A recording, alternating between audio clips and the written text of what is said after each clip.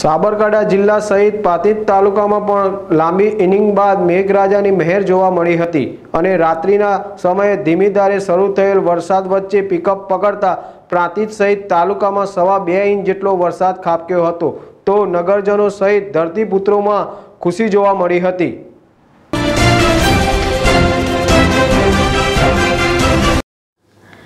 ચોમાસાના આગમનને દોઢ મહિનો વીતી ગયા બાદ પણ મેઘરાજા ગુજરાતના કેટલાય જિલ્લાઓમાં ચોમાસાની સિઝનમાં જ ન દેખાતા.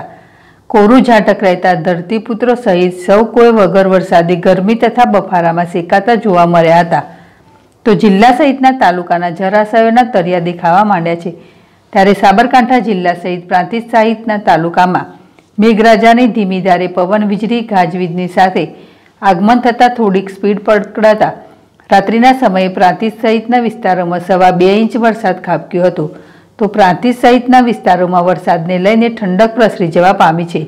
તો ધરતીપુત્રો પણ પાકને લઈને ચિંતામાં હતા અને ખેતીલાયક વરસાદ પડતા હાલ રહેલ પાકને પણ જીવતદાન મળતા ધરતીપુત્રોમાં ખુશી જોવા મળી હતી. તો પ્રાંતિજ સહિતના વિસ્તારોમાં પાણી ભરાવાના બનાવો બન્યા હતા. તો પ્રાંતિજ ઉમા પાક સોસાયટી, હરિઓમ પાક સોસાયટી સહિતના વિસ્તારોમાં પણ પાણી ભરાયું હતું. તો મોસમનો કુલ વરસાદ ત્રણસો પચીસ મીમી નોંધાયો છે, જે તેર ઇંચ જેટલો કુલ મોસમનો વરસાદ હાલ નોંધાયો છે. સંજય રાવળ જેડેશ ટીવી, પ્રાંતિજ.